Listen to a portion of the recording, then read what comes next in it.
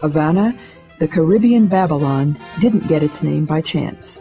Altogether, two million Spanish, Indian, African, Chinese, mulatto, and other peoples live here together in peace. The Metro bus, a long bus pulled by a semi-trailer, holds 200 people at a time, transporting them throughout the city, which spans 45 kilometers. It's the biggest settlement in Central America. Fortunately, the tourist sites are limited to a smaller territory than this in the Viejo Habana, Central Habana, and Vedado city regions. Sought by everyone, relics of the colonial past can be found in the old town Vieja. Outside the former city wall, in the middle of a monumental park, the building of the Capitolio can be found. This huge palace with a white dome is the symbol of the American influence. It was built in 1929, taking the Capitol in Washington as a model.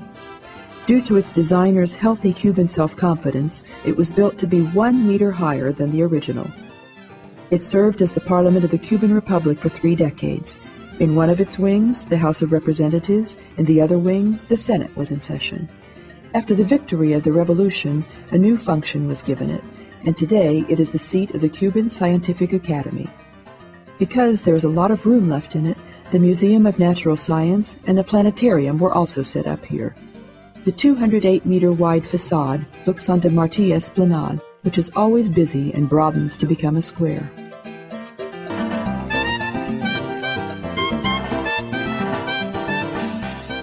Exploring the real beauties of a city can be done best on foot, but sightseeing can also be continued by hailing a cab.